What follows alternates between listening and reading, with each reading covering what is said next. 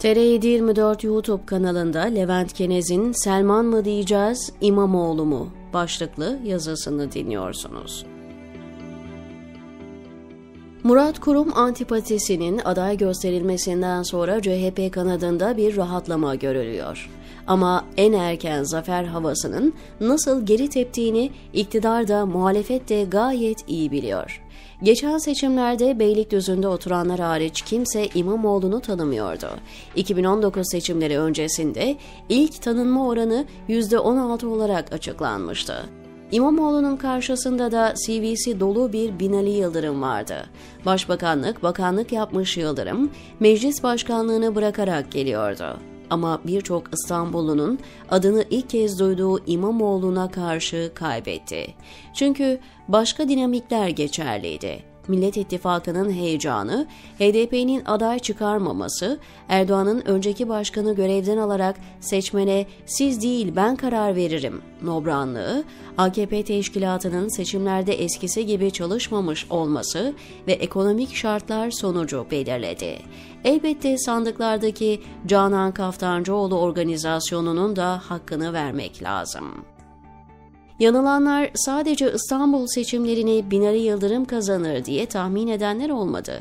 Haksız bir şekilde yenilenen seçimlerde Erdoğan kaybedeceği seçimleri ikinci kez yaptırtmaz diye düşünenler de fena halde duvara tosladı. 12 binlik oy farkı 800 bine çıktı. Bunda ikinci seçim içine sinmeyip sandığa gitmeyen azımsanmayacak iktidar seçmeninin de payı vardı. Şimdi CHP'nin adayı Ekrem İmamoğlu mevcut başkan olarak seçime gidiyor. Seçildiği günden beri engellemelere takılan, büyükşehirin yetkililerinin imarla ilgili olanlarının anında elinden alındığı bir başkan. Bunları dikkate alan İstanbullular için muhteşem başkanlık yapmadı ama mevcut şartlara göre büyük de hata yapmadı. Murat Kurum bir emlak simsarı. Öyle kentsel dönüşüm dahisi muamelelerini geçelim. Türkiye'nin her yerini beton yığınına çeviren zihniyetin temsilcisi. 17-25 Aralık Büyük Yolsuzluk Operasyonu'nun şüphelilerinden. Ülkede adalet olsaydı yargılanması gereken kirli bir bürokrattı. Erdoğan ve ailesi için iş takibi yapmaya geliyor. Son genel ve cumhurbaşkanlığı seçimlerinde muhalif oylar Cumhur İttifakı'nın üzerindeydi.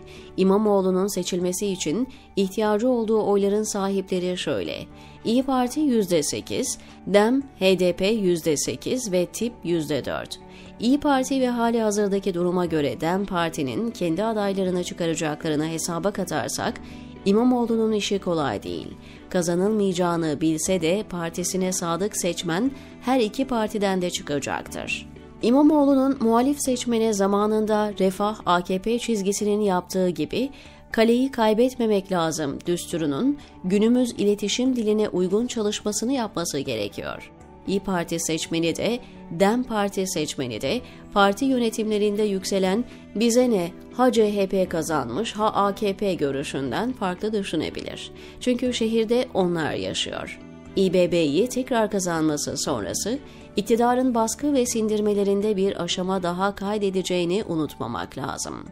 İstanbul seçimleri bir nevi muhalefetin hala varlığının ve otoriter bir lidere direniş olduğunun göstergesi olacak. Hele ki DEM ve İyi Parti'nin desteklemediği bir ortamda İmamoğlu kazanırsa çok büyük bir iş başarmış olacak ki bu da bir sonraki Cumhurbaşkanlığı seçimlerinde muhalefetin aday arama ihtiyacını ortadan kaldıracak. Erdoğan'ın bir amacı da zaten İmamoğlu'nun karizmasını çizmek. Erdoğan, kurumun adaylığının açıklandığı toplantıda seçim stratejisinin klasik terör saçmalıkları olduğunu belli etti. Bunda MHP'den Fire'yi engelleme ve İyi Parti tabanına mesaj verme yatıyor. Bir de deprem korkusu yaşayan şehirde kentsel dönüşümün sağlanması için kurumun en ideal aday olduğu vurgusu. AKP'nin kentsel dönüşümden anladığı elbette yeni rant kapıları. Hele ki gerçekleşmeyecek Kanal İstanbul projesiyle Arap dünyasında reklamları yapılan diğer projelerin bir an önce nakde çevrilmesi amaçlanıyor. Geçen seçimlerin Sisi mi diyeceğiz, Binali Yıldırım mı diyeceğiz? sloganını unutan yoktur. Gerçi köprünün altından çok sular aktı. Sisi şimdi kardeşim Sisi oldu. Eğer AKP kazanırsa şehrin kimliği zarar görmeye artarak devam edecek. Eğer CHP bunu kendisini de aşarak İslam düşmanlığı ve Arap ırkçılığına bulaşmadan anlatabilirse destek göreceği muhakkak. İstanbul seçimleri İmamoğlu'yla Erdoğan arasında bir düellodur. Bir belediye seçimi değildir.